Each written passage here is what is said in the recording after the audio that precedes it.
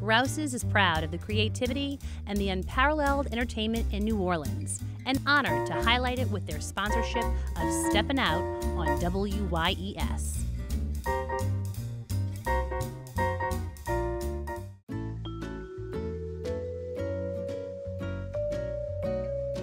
Steppin' Out is made possible in part by Susie and Pierre G. Villery. With a lifetime of passion for public television, we're pleased to help underwrite Steppin' Out. Please join us in supporting WYES TV.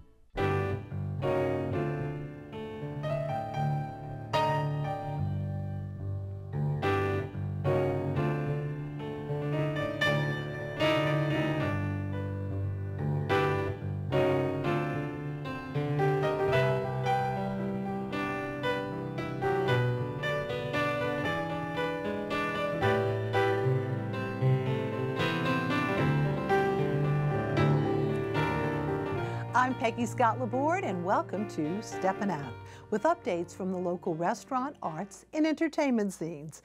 Joining me, Poppy Tooker. Yay, she's back, host of Louisiana Eats on WWNO Radio. Hey, Miss Poppy. Hey, Peg. Hello. Joining us tonight, Dr. Michael White. clarinetist, jazz historian, Xavier University professor, long time, and we're just so glad that you're here. Welcome, Michael. Hello, Peggy. Ah, Great to hey, be here. Yes.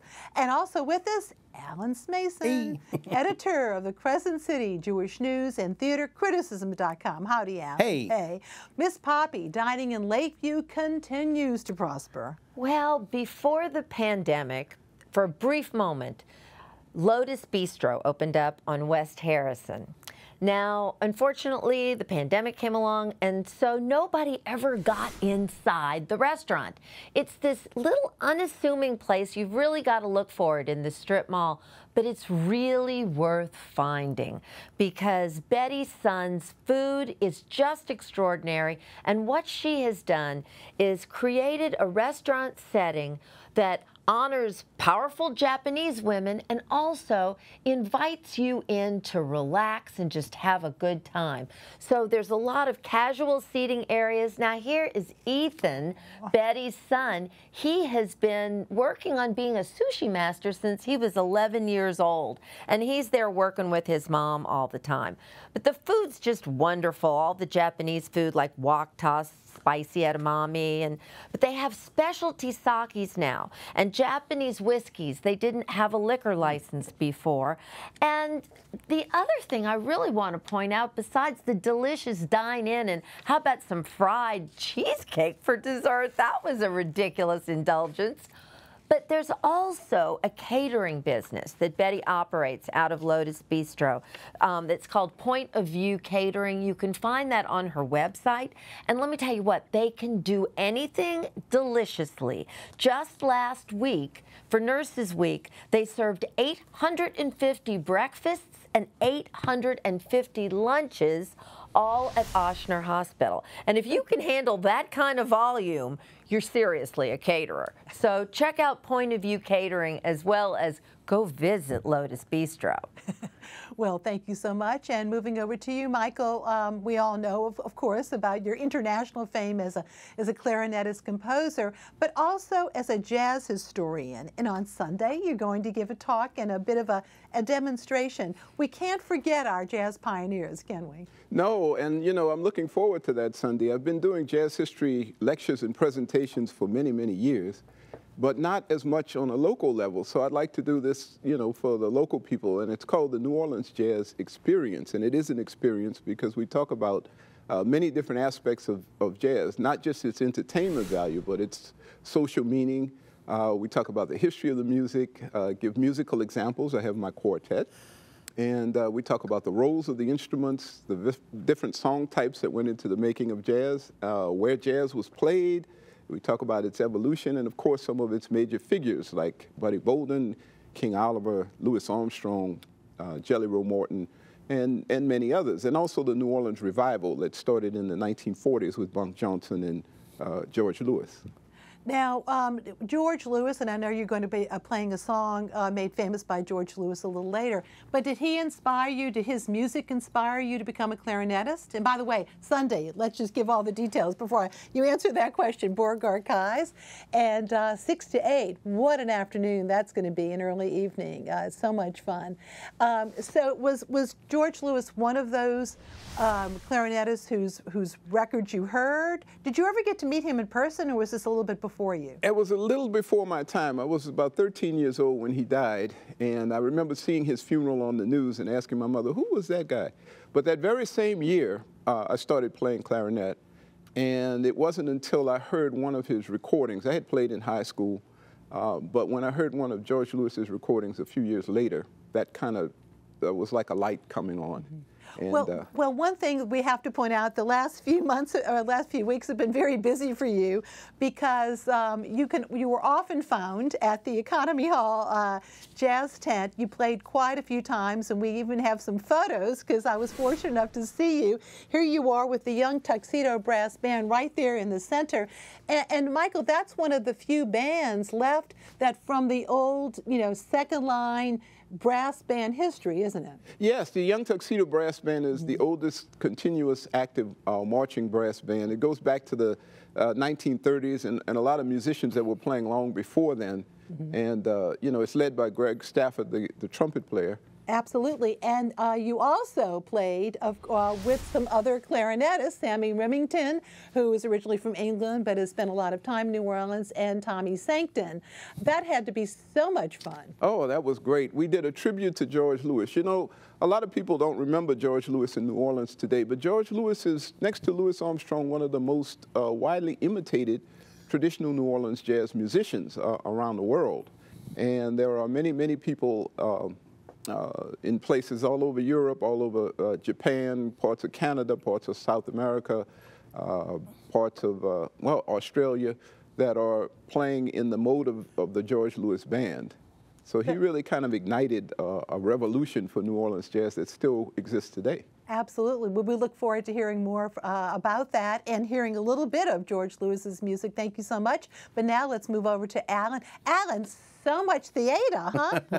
well, we're going to try to get it all in. First okay. of all, it's taken two years for A Night with Janis Joplin to finally make it to Le Petit Theater, but producing executive director Don Scott Cooper and interim artistic uh, director uh, Ken Amore are both happy that the time has proven right. This uh, uh, Time Out, A Night with Janis Joplin stars Leslie McDonald in the title role. It's not really a concert, but really not just a musical. It really borders on more of a scripted musical experience. It's the brainchild of writer, director, and producer Randy Johnson, who you may remember always Patsy Cline was the was the uh, originator of that. The uh, show also plays homage to blues, folk, jazz, and soul greats like Bessie Smith and Odetta, played by Johanna Hale McGill, Aretha Franklin and Nina Simone, played by Natalie Randall, and Etta James, played by Tawny Dolly, uh, who also uh, is the associate uh, director and choreographer with that, uh, works with the, the cast members as well. They also sing as the Chantels, and they back up McDonald's performances as a fictional group, the Joplin Joplinaires. But as a white female figure who imprinted the blues onto rock music, Janis Joplin was as important a figure as Elvis Presley was in bringing a white face to rock and roll. The bottom line is, no matter how good the supporting cast is, and they're all very good, uh, without a really convincing performer to channel the performances of Janis Joplin, uh, to accurately portray her, uh, well, you know, this show would be an empty shell. But to be sure, McDonald has the pipes the exuberance, the winning smile, and the charisma needed to carry off this leading role. She makes the show an experience and not just a concert you will not want to miss. The horn section, by the way, is fantastic with the backing rhythms and percussion. Uh, they're all really seasoned musicians. And of course, pieces like Try, just a little bit harder, Cry Baby, Me and Bobby McGee, Piece of My Heart. Uh, two of the best numbers are Maybe and Ball and Chain. You're not going to want to miss this. For a woman who's been dead for more than a half century, Janis Joplin is still a pivotal figure in rock uh, music history. And by the way, her music is still very pertinent. This is a musical experience. Don't miss it. You'll see it is really highly recommended. Meanwhile, over at the Sanger, Peggy, it's Mean Girls at the Sanger Theater. Tina Fey's musical retelling of the movie that she wrote some years back. It's playing through the weekend, and you know what? It's pretty fetch. Uh, based on the movie that's written by Fey with music by her husband, Jeff Richmond, Mean Girls has a very funny book that Fey wrote and points out the revenge uh, that is among the teens there can be quite funny. Uh, Cady Heron, played by uh, English Bernhardt, is a new student in from Kenya. She attempts to be part of the Plastics, uh, a, a way of sort of taking them down by infiltrating them, especially the perfect Regina George. Well, most of the teens and, and millennials will love this one, but keep an open mind if you're a baby boomer. There's a lot of very good music in it and fantastic dancing, including a big tap break to start off Act Two in a number called Stop. There's also a lot of moral lessons here uh, to be derived. Again, I actually like this one better than the production I saw on Broadway at the August Wilson Theater some years ago. Several, uh, several very good parts in this one. It's a very good national touring show. Check it out, Mean Girls. You know, uh, Alan, um, I was there the night you were there, and in the audience were a lot of teenage young ladies. And I, you know, it occurred to me if this is their first visit to the Sanger, let's hope that they'll come back for more. And maybe this is an introduction uh, for many of a certain age uh, to experience theater. Seated next to me were the little girls, and in the front row in front of me were all their mothers. yeah. So uh, great combination. And boy, yes, the audience was very animated. They were clearly enjoying it. Yeah. Yeah. Thank you so much. And back over to Poppy, a little trip to the quarter. Well, you know, it is almost impossible to eat out in the French Quarter on Mondays and Tuesdays. And Wednesdays are really hard too. But I had the most wonderful surprise just a week ago. The Italian Barrel, one of my favorite places, is open seven days a week. And check out that uh, insalata di mare salad. It Ooh. was Ooh. the most incredible. I felt like I was on the Greek shores or something. I, it was just incredible, right on the Mediterranean. So they're open seven days a week and for lunch too. That is a big tip for the quarter these days. Mm. And then something also in the quarter that's coming up soon. There is a young woman I met whose name is Sean Williams, and she also goes by Rice Girl Rich because she is rice obsessed. And she has set out to spread her love of rice through pop ups with various chefs in the city. Now, she did the original um, Orisa, which she called a mash up, um, at Alma, and there were four courses and four different chefs, and the food was remarkable. But it's a pop-up where the menu changes every time. So the food you're looking at was the yummy food I ate at her first pop-up. But what's happening next on Tuesday, May 31st at Jewel of the South, um, she's pairing up with Chef Chris Whitmarsh, so it's going to be his food. He's the chef at Jewel of the South, and it's going to be a four-course rice dinner exploring Europe's rice traditions. A very unusual sort of thing to attend. And it was delicious, surprising fun. So I recommend it. And what a bunch of fun we're going to have next Thursday night when Food Fight debuts here, coming from our friends at Top Taco. That's Shane Finkelstein. There's less than 100 tickets left for this, and if you are a food lover or a drink lover, it's the place to be. 40 restaurants, 30 different spirits. Everybody's participating, from Brennan's to Boucherie, Emeril's to The Joint. There'll be judges, there'll be audience judging. Um, the, all the fun starts at, uh, the, well, the VIP starts at 5, and it's all at Crescent Park. So don't miss Food Fight next Thursday. Poppy, just to kind of reiterate, we're not talking about wasting food or throwing food at others. Oh, no, no, no, no, no. It's like not like it's a competition. Yes. So okay. all when I hear the term food fight, I'm oh. thinking somebody's throwing something. No tomatoes, Peggy. No tomatoes. okay, thank you so much.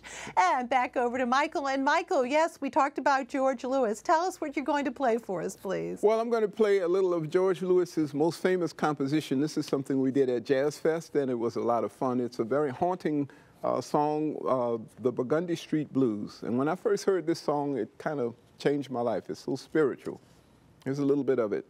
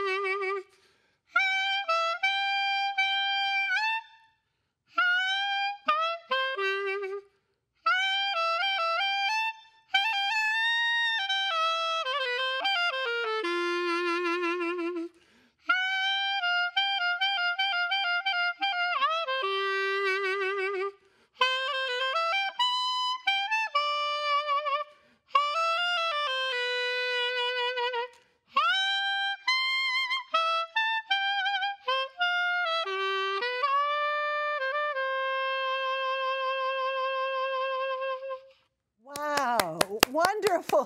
Thank you so much, Michael. Once again, Sunday, do not miss Beauregard-Keyes house. The doors open at 5.30. The performance starts at 6.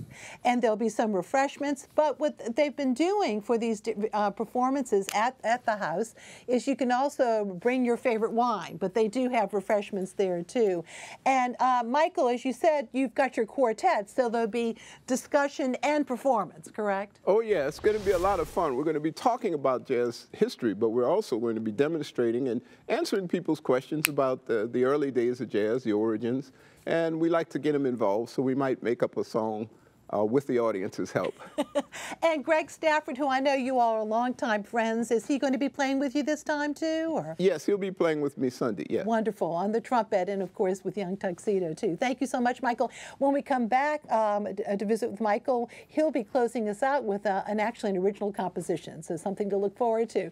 And now over to Alan, some more reviews. We Once again, lots we were, and we lots on the boards. Yeah, well, we were talking about uh, delayed performances. Six years ago, Jason Petty came to the the National World War II Museum and performed his uh, Hank Williams show, Hank Williams and My Honky Tonk Heroes.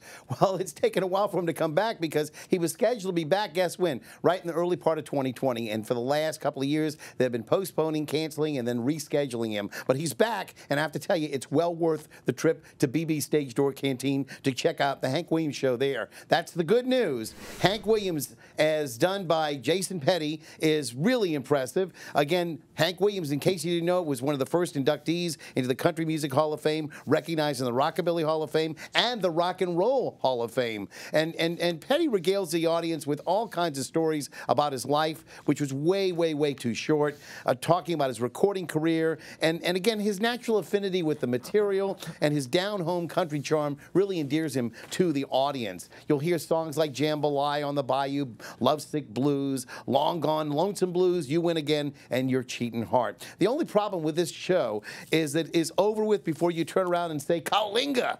The final shows are this weekend, starting on tomorrow and Saturday nights, and the final matinee on Sunday. I recommend it highly. Now, the Historic New Orleans Collection is doing something that is really unusual. Uh, they partnered with the people over at the Tennessee Williams uh, Theater Company, and they have the backstage A Streetcar Named Desire exhibit that they've had at 520 Royal Street. What they've done, though, is now they're putting on the six Blanches. And what they've done is they've taken six actresses who portray different aspects of Blanche Dubois' character, if you will. The six actresses in the exhibit include Lynn Gaithright, who you see there, and Gwendolyn Foxworth. They all represent various aspects of Blanche. You see one represents desire, one represents grief, one is emblematic of tenderness, uh, others represent panic, fantasy, and magic. Now, the first two nights are, are now over, but there's still opportunity to see the show on Sunday and next Wednesday. You can pick out your time slot from either 6 o'clock on until 8.30, and that's at the Historic New Orleans Collection, again, 520 Royal Street. It's $15, but this is an immersive experience, no touching, but you'll enjoy the experience of seeing all six Blanches. By the way, Peggy, the name Morgan James may not register for many of you. She is a stunning, stunning actress, as you can see right there, but she's also a wonderful singer. She is a graduate of Juilliard, a veteran of five Broadway shows, including the Motown musical. Morgan is Seth Rudetsky's guest this Sunday on his weekly concert series that got started again last week. She's a freakishly high pitched voice that you should not miss. There's no show next week, however. They return two weeks with uh, Mandy Gonzalez. You'll want to see this one, though. That's at 7 o'clock on Sunday night.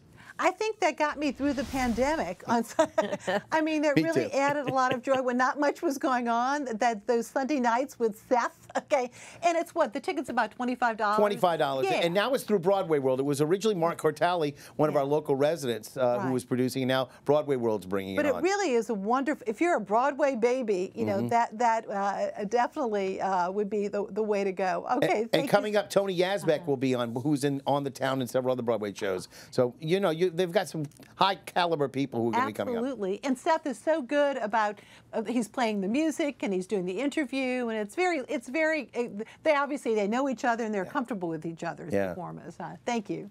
And now time for our picks of the week. Poppy. Well, Peggy, it's time to cheers to 30 years because the New Orleans Food and Wine Experience will be back June 7th through the 12th. You can learn more at nowfe.com, but I'll be giving you all the scoop next week. Okay, thank you. Michael. Well, my pick of the week is me. that is my original Liberty Jazz Band will be playing at Snug Harbor. We always have a lot of fun there. We play there about once a month. That's Friday, May 27th, with shows at 8 and 10 p.m. Get your tickets early because they always sell out. And Michael, I know you have quite a few CDs. How can folks order those? Oh, they can go on the Basin Street Records website, www uh, BasinStreetRecords.com. Okay, great. Yes. Thank you. Alan. And Mark Samuels will help him out there, I'm sure. Certainly will. Uh, I, I got to tell you, I'm going to be covering, uh, hope next weekend, the uh, La Fête Festival for the first time. Opera Creole is putting on a, uh, a weekend of, of, very interesting events, so we'll see that. But I wanted to do this to let everybody know about my pick this week is going really going to be Tracers. This is a Vietnam era uh, drama based on actual stories from the soldiers who were there. Tracers plays this weekend and next at the Swamp Light Theater in Ponchatoula. I'll see you at the theater. All right, in my picks, the Bayou Boogaloo is finally back this weekend. And of course, that's on the uh, banks of Bayou St. John, this time stretching from Orleans Avenue to Dumaine. The Squirrel Nuts Zippers and Andy DeFranco are among the many musical acts. Also, there are lots of art and food vendors, and the pricing structure varies, but just go to the, thebayou-boogaloo.com uh, for details on that. Friday night at the UNO Performing Arts Center, the Harlem Quartet with members of the local Lyrica Baroque. Check eventbrite.com. Uh, and don't forget, we've got the cardboard boat race on Saturday morning from 9 to noon. That's sponsored by the um, uh, Hancock County Historical Society, but it's at the uh, Bay St. Louis Municipal Harbor Beachfront. It is all part of Pirate Day, which is actually days, Friday and Saturday. Go to mktosh.com for uh, a full schedule of events, and including an art sale there too. Finally, a reminder about the concert Three Wishes for Ukraine. Now, that is featuring LPO musicians performing for a benefit to help the families of three New Orleans musicians whose families actually live in the Ukraine. Tickets are available by donation. Go to the GoFundMe page. Uh, it's called Three Wishes for Ukraine. Paul Moffrey put this together. God bless him. It will be held at the new Capitol space at 220 Baronne. That's downtown. That's Wednesday evening. So uh, check that out. Now, Michael, what are you going to close us out with? Well, uh, you we were talking about doing something original, and as I was sitting here, I was thinking I'll just make up something. So I did make up a song called Lakeview Strut. All right. Thank you so much. Thank you all for watching. Good night.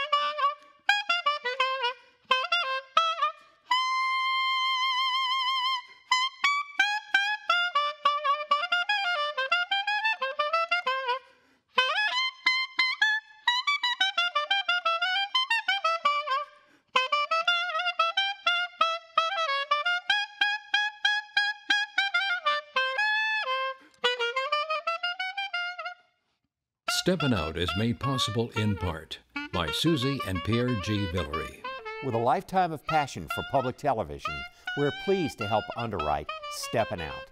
Please join us in supporting WYES TV.